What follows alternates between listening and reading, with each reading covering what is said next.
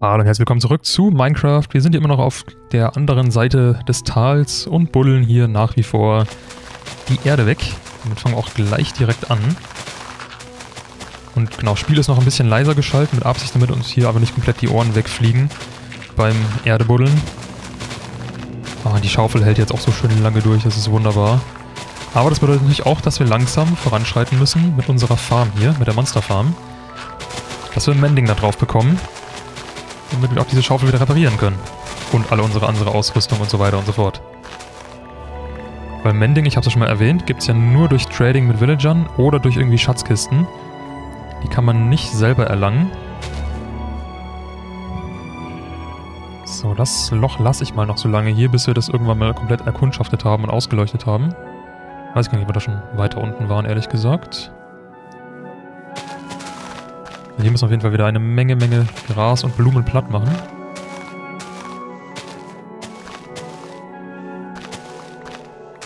Damit wir dann hier einfach alles auch gerade machen können.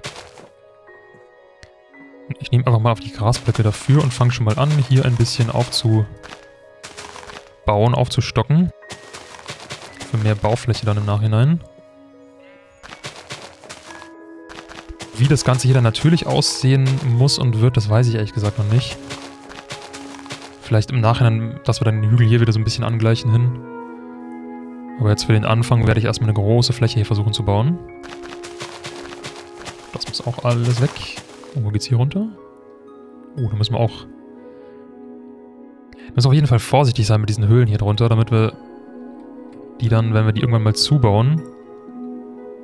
Wie machen wir das denn am dümmsten? Kann ich da hin? Nee.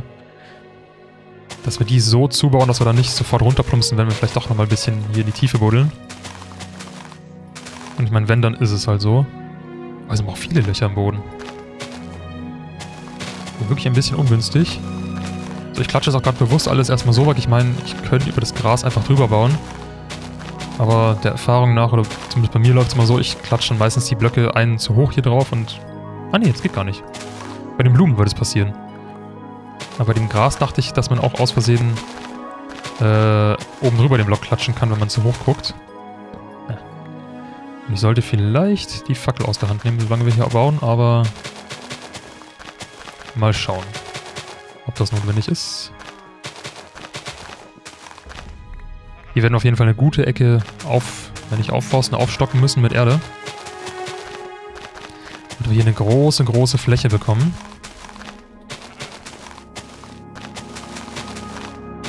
So.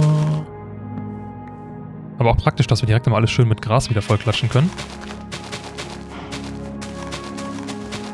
Dann dauert das gar nicht so lange, bis hier wieder alles schön begrünt ist. So, Schaf, beweg bitte dein Popestar einmal weg. Du stehst im Weg. So, mehr Gras haben wir gar nicht. Wir haben zwar noch ein bisschen Erde. Aber in die Richtung werden wir schon auch noch ein bisschen weitergehen müssen. Wo wir hier jetzt an sich schon eine gute Fläche haben. Wenn das hier noch zu... Oh, das ist der Villager. Ich dachte gerade, das ist ein komischer Zombie da drüben rum. Also ich dachte, das wäre so ein bisschen so ein Creeper-Zombie-Verschnitt irgendwie. Ja, was auch doof ist, dass hier hinten die Saplings halt nicht wachsen. Ich möchte mal was ausprobieren. Es gibt ja hier die Simulationsdistanz. Wenn wir die einfach mal hochschrauben...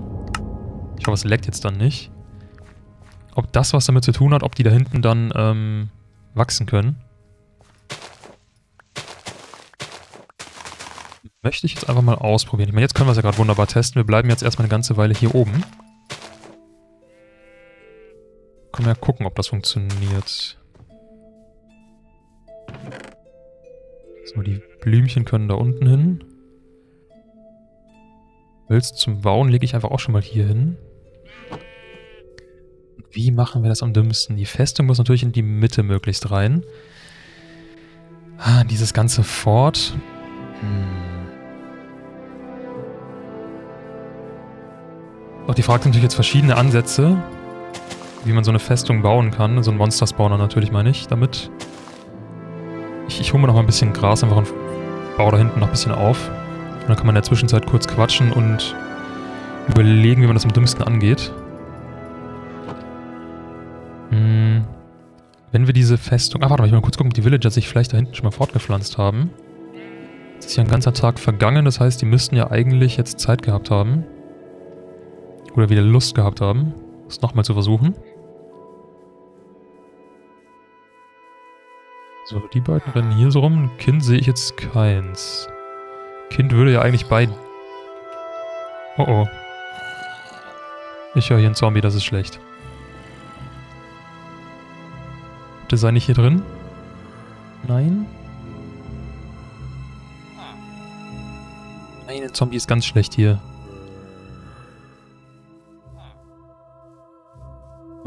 Sein, irgendwie unten drunter. Solange der nicht rauskommen kann, ist es wieder okay, aber ungünstig.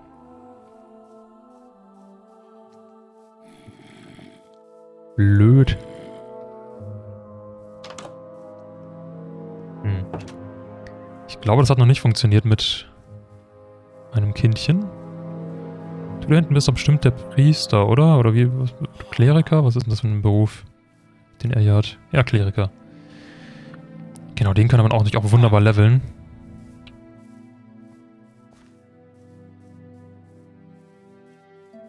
Ich weiß auch gar nicht, ob die verschiedene äh, Trades bekommen. Also, ja, man kann sie hochleveln, aber ob die Trades sich dann irgendwie auch abwechseln, wenn die Maximallevel erreicht haben. Oder ob man da auch mal so, naja, irgendwie so ein Zufallsprinzip hat und dann bräuchte man neue Villager, wenn der Trade einem nicht gefällt. Alles so Sachen, die man noch lernen muss. Oder die ich beziehungsweise noch lernen muss. Viele von euch werden es bestimmt wissen. Zumindest jeder, der sich damit mal ein bisschen beschäftigt hat, glaube ich, kennt sich damit relativ gut aus. Aber ich bin dann immer noch auf dem Stand von... Ja, Villager wurden eingeführt und die können nichts. Und irgendwann kam dann das Handeln dazu und das war aber das... Mehr weiß ich auch wirklich eigentlich gar nicht zu denen. Was die können oder was sie nicht können.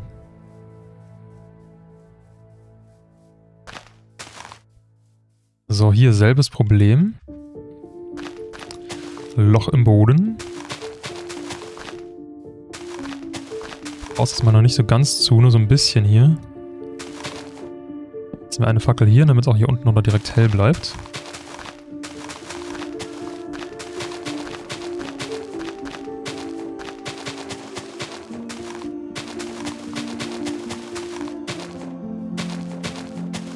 Man will auch die ganzen Höhlen eben noch nicht zubauen, damit wir eben nachher noch wissen, wo müssen wir wieder runter, wo müssen wir noch ausleuchten. Ich nehme jetzt erstmal kurz die Fackel aus der Hand. Hier nicht jedes Mal alles anfackeln.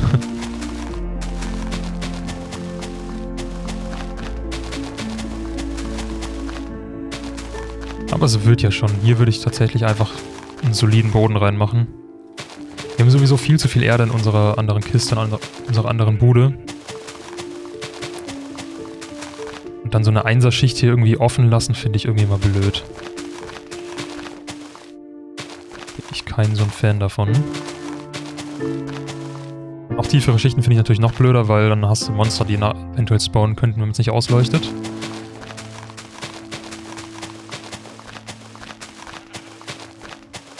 So weit müssen wir ja auch tatsächlich gar nicht bis darüber bauen. Also so viel Erde müssen wir jetzt nicht hier in mehreren Schichten auftragen.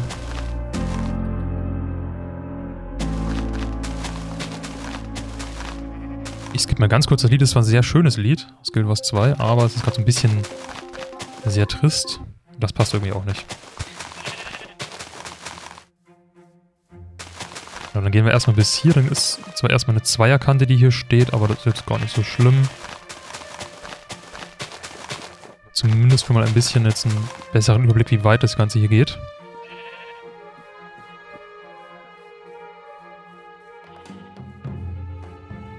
Ich meine, an sich, dieser Festungskörper muss ja gar nicht so groß sein, tatsächlich. Wackel wieder in die Hand, dann kommt eine hier und dann bleibt es auch auf jeden Fall hier immer schön hell.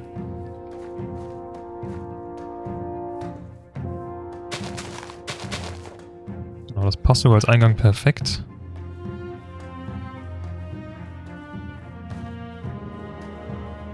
Und wo mache ich eigentlich den Eingang hin? Uh. Vielleicht auf Dorfseite hier.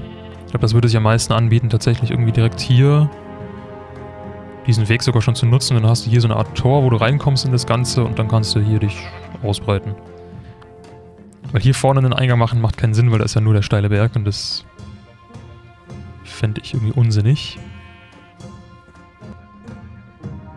Ja, wenn man es irgendwie hier schafft, die Treppe irgendwie vielleicht hochzubauen, wie schon angekündigt, vielleicht durch die Höhlen so ein bisschen durch.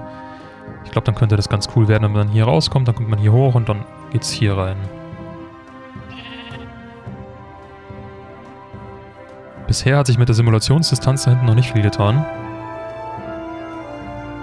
Das Einzige, was vielleicht sind damit auch Öfen oder sowas gemeint, dass unsere Öfen da hinten jetzt weiterlaufen. Aber keine Chunk-Updates, was Saplings betrifft. Ich weiß es ehrlich gesagt nicht, was Simulationsdistanz genau bedeutet. Also was da simuliert wird oder was auch nicht. Ich guck mal, ob ich unten noch mal ein paar Villager finde. Halt, dann brauchen wir auf jeden Fall erstmal unser Food. Dann machen wir gleich mal ein paar neue Betten.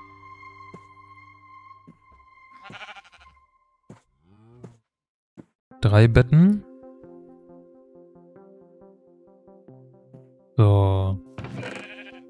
Die Wolle auch hier rein.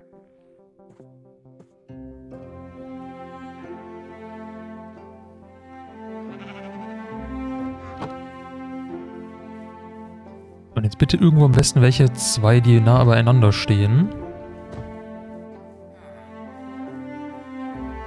Einen da hinten irgendwo gehört? Aber nur einen. Nicht zu wenig. Ach du, du stehst immer noch hier. Ja genau, weil du da nicht rankommst, aber das ist okay. Kann man den schön geparkt lassen da drin. Aber ich setze ihm einfach auch mal ein Bett. Und wir könnten hier... Na, lass mal ein Bett mal da. Einfach überall Betten hin, damit die auf jeden Fall genug Radius haben, wo sie ihre Betten erkennen können. Wenn sie sich dann, dann mal doch irgendwann dazu entscheiden, Babys zu bekommen. Vielleicht dauert es ja auch einfach eine ganze Weile, bis äh, so ein Baby entsteht.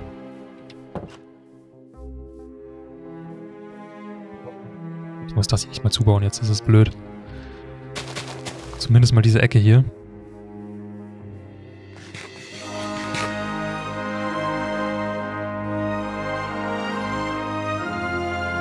Achso, dann können wir das Spiel auch wieder ein bisschen lauter machen. So. Wo seid ihr denn alle? Wo seid ihr denn? Ja, ist ein Bibliothekar, der eine. Da oben ist der Schmied. So, was nochmal mit euch beiden versuchen? Komm, du kriegst nochmal das. Und du da unten, dich locken wir aber mit dem Essen mal hier raus aus deiner Bude. Funktioniert das? Na komm. Liegt Happa Happa. Na los.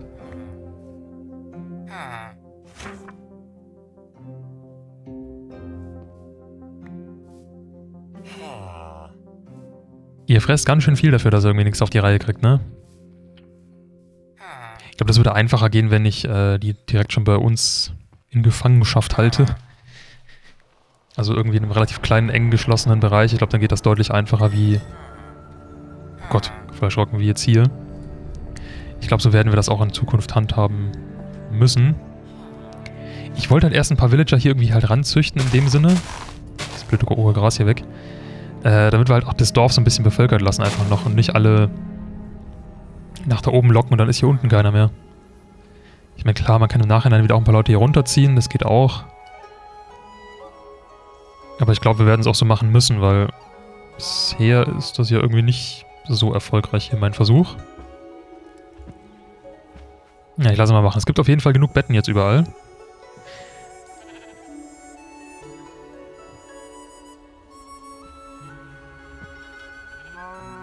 So, jetzt ist wieder mal die Frage, wie gehen wir das hier an?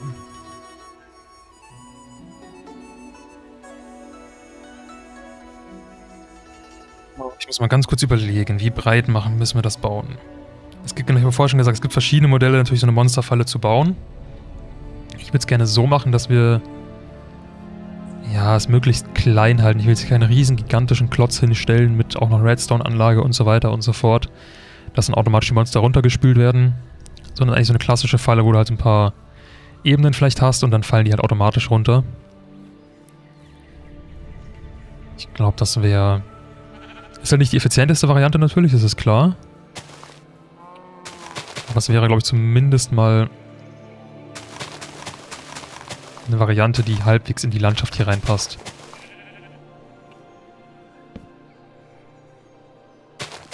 Alles andere finde ich einfach irgendwie zu viel. So, das müssen wir mal so lassen bis dahin.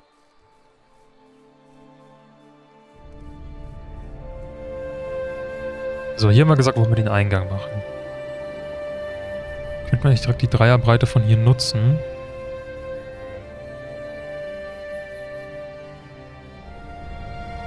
Würde ich hier wieder ein bisschen was kurz wegnehmen. Blumen mal weg, die stehen irgendwie auch alle im Weg.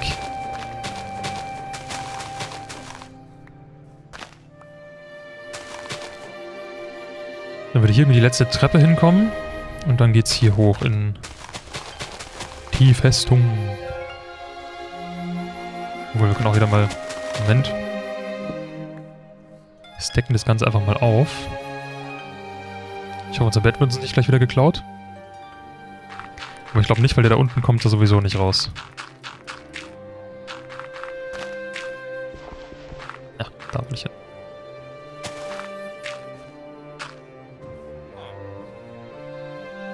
So, dann ist hier der Eingang. Hey, wir haben schon einen Bewohner. Wunderbar. Du lässt bitte mein Bett in Ruhe.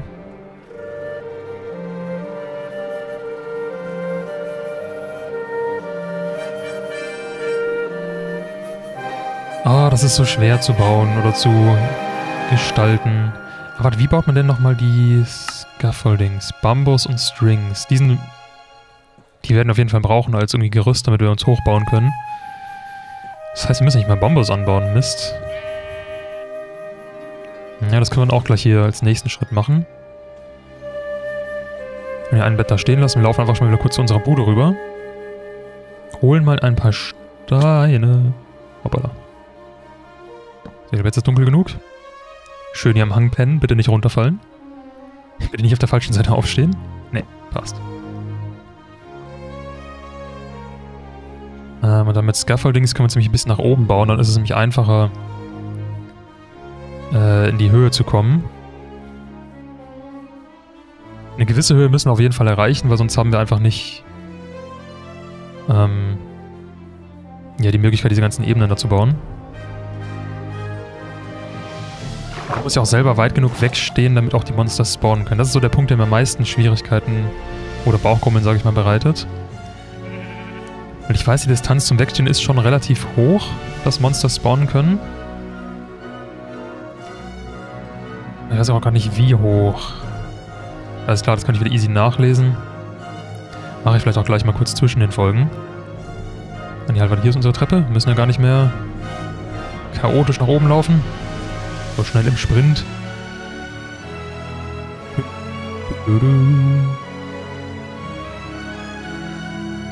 Ja, Mist of Pandaria hat schon einen sehr schönen Soundtrack. Das ist natürlich WoW. Wer es nicht kennt.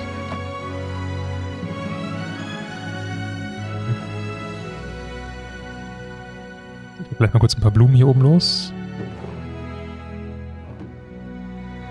Sache ist jetzt halt auch wirklich, wie machen wir das mit den Steinen? Weil wir haben von denen halt einfach viel zu wenige.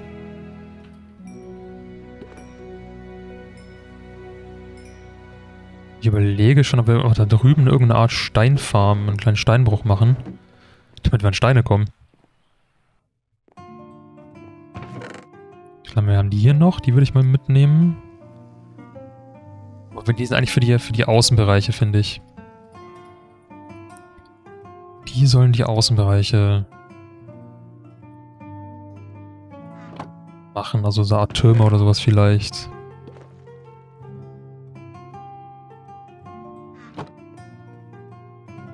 So, Bambus wollte ich. Bambus, Bambus, Bambus.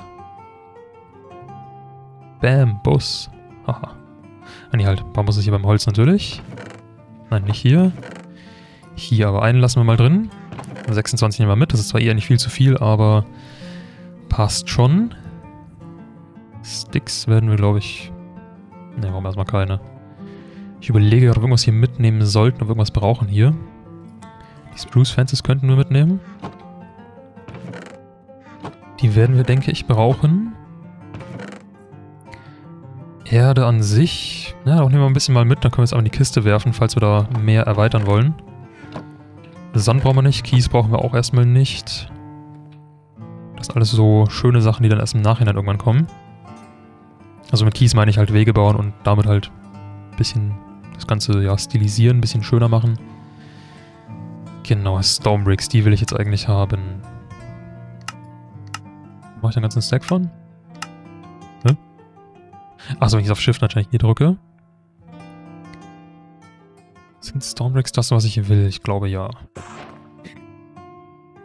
Hier draus machen? Kann man nur andere draus machen? Warte mal, wenn ich diese so mache, werden doch auch Stormbricks draus, oder? Ja, genau. Da wird aber nichts anderes draus, okay.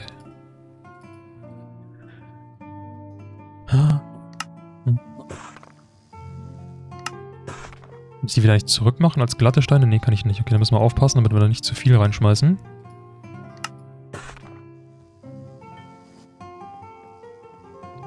Was ich auch schon mal mit rübernehme, ist der Stonecutter und einfach einen Call, wenn wir gerade noch einen Platz im Inventar haben.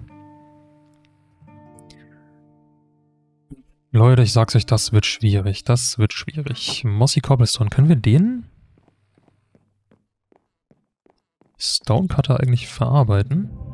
Oh, könnte man. Aber oh, das ist natürlich auch... Hm, das reizt natürlich. Mossy Cobblestone, wie mache ich den nochmal? Die kann man künstlich herstellen. Man kann Moos ja irgendwo abbauen.